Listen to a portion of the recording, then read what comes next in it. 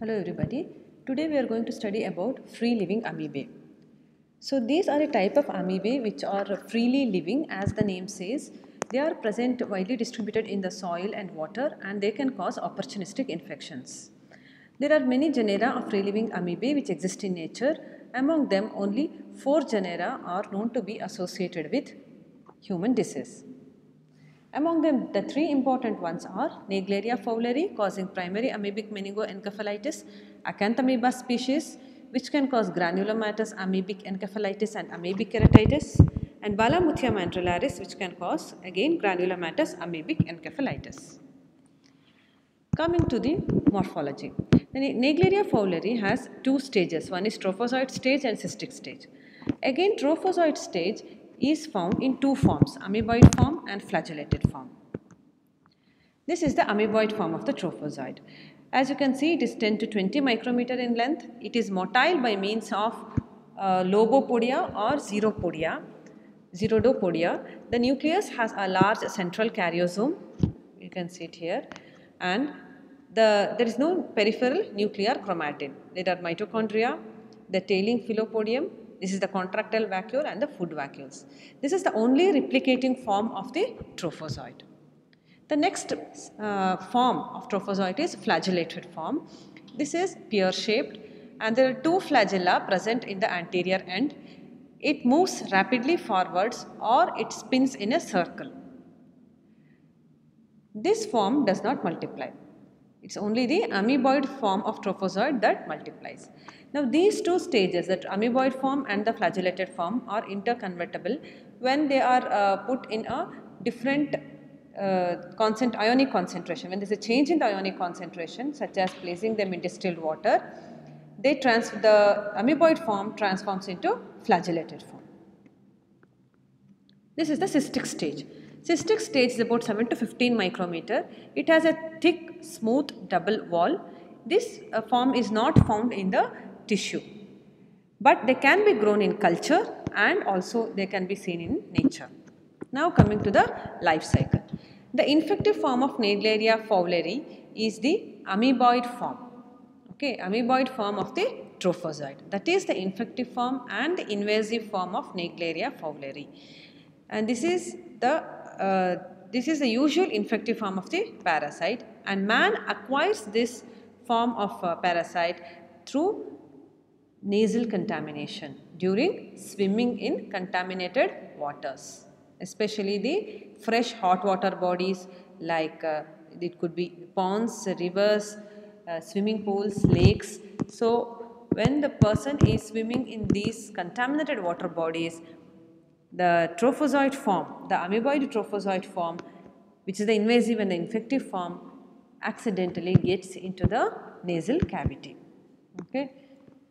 So you can see here the amoeboid form is the infective form. Once it gets, gets into the nasal cavity, it goes to the olfactory mucosa, the olfactory bulb, then enters into the cribriform plate, goes to the subarachnoid place, the choroid plexus and finally causing PAM that is primary amoebic meningoencephalitis.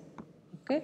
So this is what happens when there is infection with trophozoite. Again this picture also uh, shows the same thing. This is the amoeboid form of the trophozoite and these two forms are interconvertible. The cystic form and the trophozoite forms are interconvertible. So, this is getting into the person's nasal cavity then going into the brain. Then what happens once it gets into the brain that is pathogenesis.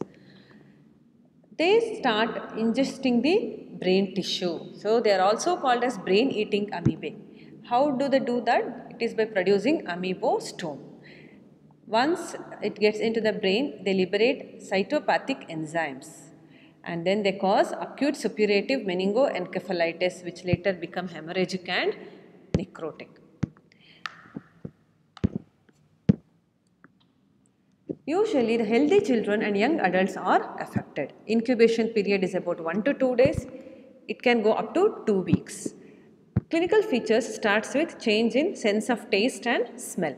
Then there will be headache, anorexia, nausea, vomiting and also neck stiffness and on clinical examination one could elicit positive Kernig's sign. There is also confusion, hallucination, lack of attention, ataxia and seizures. Mortality is about 98% and death occurs within 7 to 14 days of exposure. Now coming to lab diagnosis. So the main uh, mode of lab diagnosis is by one is CSF analysis wherein we can see an increased neutrophil count, increase in protein and sugar level. Then microscopy of the cerebrospinal fluid reveals motile, motile amoeboid trophozoites. The histopathology of brain biopsy also can be done which demonstrates the trophozoites. Uh, under microscopy there is also a type called as direct fluorescent antibody staining. So under this uh, we can see the fluorescing uh, antigen antibody reaction. Coming to the culture. When cultured on non-nutrient agar, we can see what is called as trialsane. So this is the non-nutrient agar showing trialsane positivity. Next one is, so this trialsane is because of the Naegleria feeding on the bacteria. So this uh, non-nutrient agar also also you can be used is Page's saline and 1.5% agar which is lawn cultured with bacterial supplement like E. coli. So once the Naegleria fowleri grows it starts feeding on E. coli and starts crawling or moving on the media. That's how this uh, uh, trialsane is formed. Next one is PCR. So molecular methods like conventional PCR and nested PCR can be done using 5.8S rRNA genes. Next is CT and MRI. So this will show many changes like obliteration of cisterns, subarachnoid space, uh, enhancement of uh, uh, enhancement around the midbrain, around subarachnoid space and over cerebrum. Uh, as I mentioned earlier, brain biopsy can be done using strains like Wright stain or Giemsa stain. Enflagellation test is a test when the scrapings of non-nutrient agar is transferred into sterile tubes containing distilled water. The amoeboid form undergoes transformation to flagellate form. That is called enflagellation test. Phase contrast microscopy can also be done apart from direct microscopy which yields better results than light, light microscope. Treatment. Amphotericin B, rifampicin, sulfisoxazole can be given uh, for treatment. Vaccine is also uh, the pipeline which includes uh, the candidates like NFA1 gene. However, still no vaccine has been licensed, it is still underway. Coming to the next species that is Acanthamoeba. Under this we have uh, mainly three species Acanthamoeba culbertsoni, Acanthamoeba castellanii and Acanthamoeba polyphaga. This is polyphaga, PHAGA. Acanthamoeba mainly affects the brain, skin and eye. So coming to the morphological form. So here we have two morphological forms, trophozoite form and cyst form. Trophozoite is about 25 to 40 micrometer in size. The name itself says acanthopodia that means it has spiny pseudopodia that's why it has acanthom acanthos means spiny or thorny because it has spiny pseudopodia so as you can see in this picture there are spiny pseudopodia. So it's called as acanthamoeba. Apart from that there is a nucleus with a single karyosome and there is no peripheral chromatin. Next is the cystic form.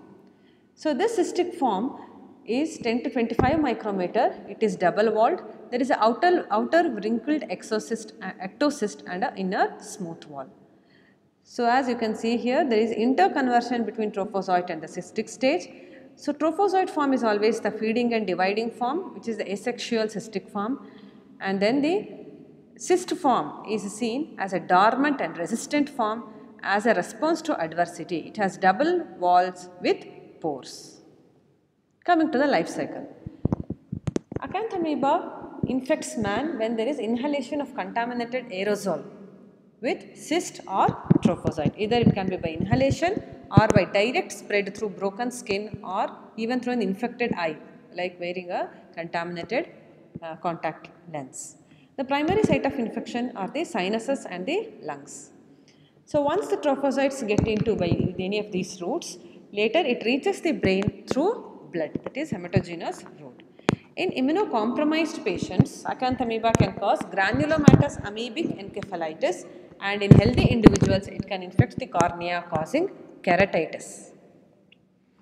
So as you can see in this picture, there is infection through eyes. So these cystic form and trophozoite form which are interconvertible.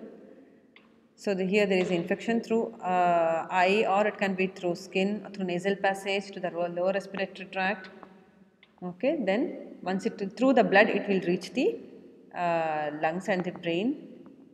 Then it can cause granulomatous amoebic encephalitis and also disseminated disease with compromised immune system whereas in uh, immunocompetent it can cause severe keratitis of the eye. Incubation period is about several weeks to months. Focal granulomatous lesions can be seen in the brain.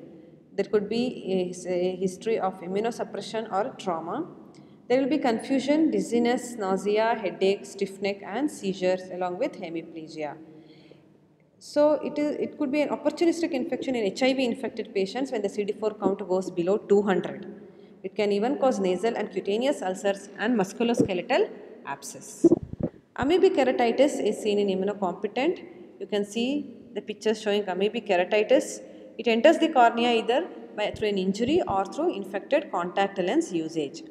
So once it goes to into the enters the eye, it binds to the the mannose binding protein uh, in the acanthamoeba can adhere to the glycoprotein receptors on the corneal epithelium, thus infecting the cornea. So the patient presents with ulcerations, iritis, scleritis, pain and finally loss of vision. Coming to lab diagnosis. So CSF analysis is the first step where you can see lymphocytosis Direct demonstration of trophozoites can also be done by direct microscopy.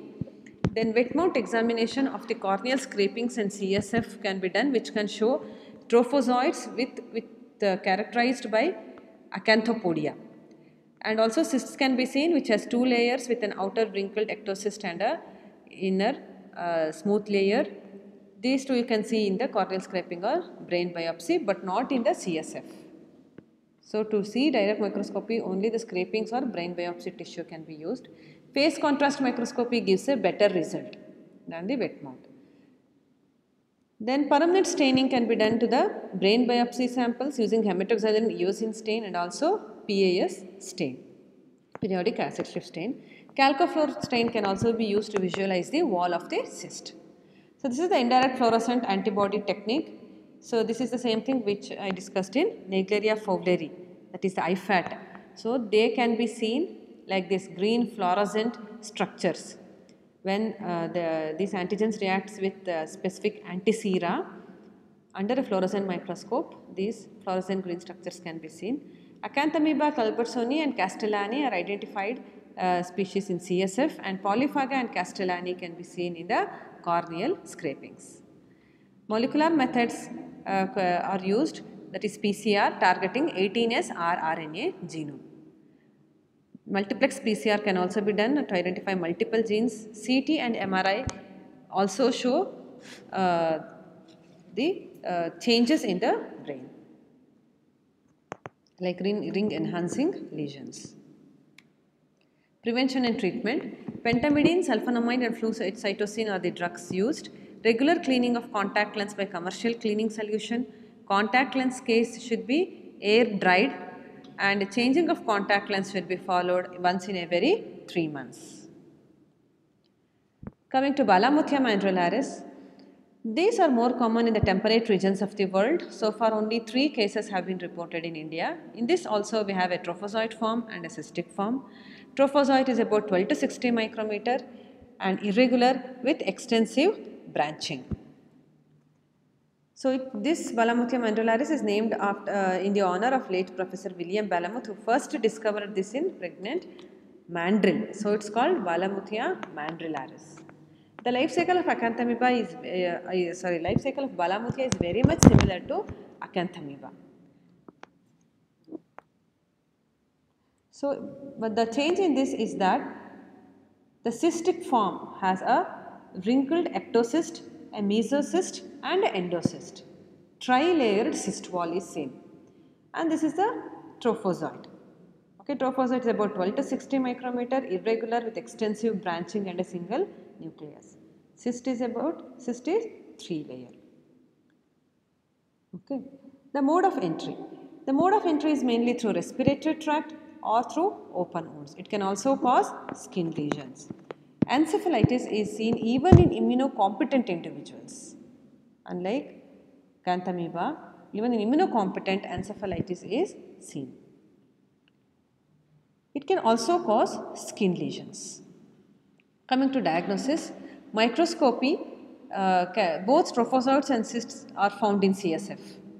Brain biopsy tissue similar to as seen in Acanthamoeba species. Both can be seen okay, in CSF and brain biopsy tissues. IFAT that is immunofluorescent uh, antibody technique.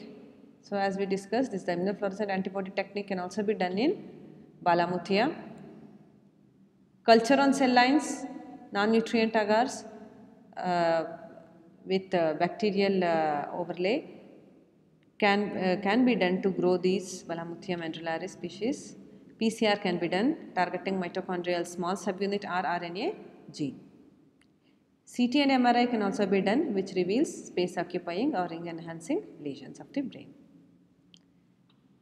Thank you.